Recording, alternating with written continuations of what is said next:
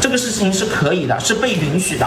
但是只要我的那顿饭我吃的是主食、甜食、包子、饺子、馒头、大米饭、面包、蛋糕、甜点、奶茶，我吃的是这些的东西，那么我就记得。作为美食博主，怎么瘦成这样？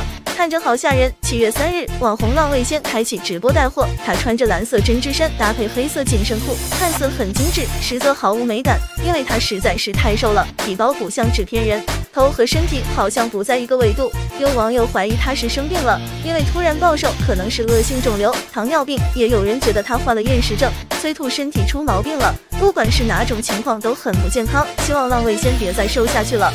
直播带货量力而行，毕竟身体健康最重要啊！今天我们吃湖南米粉和红油冷锅串串，先把串串装起来。